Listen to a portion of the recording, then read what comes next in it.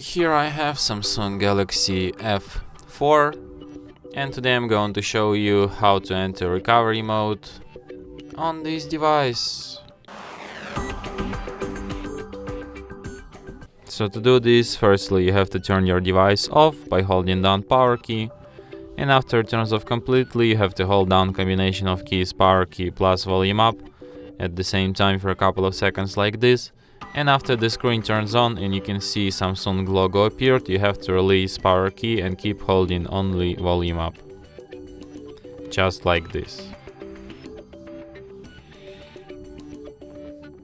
And after that you will end up in recovery mode.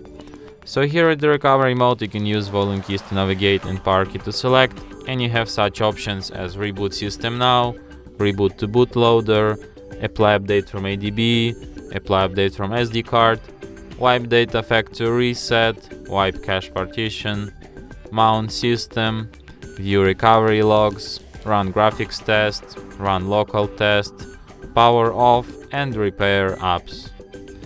So if you want to quit this mode, just select the, the first option reboot system now and your device will be restarted just as usual.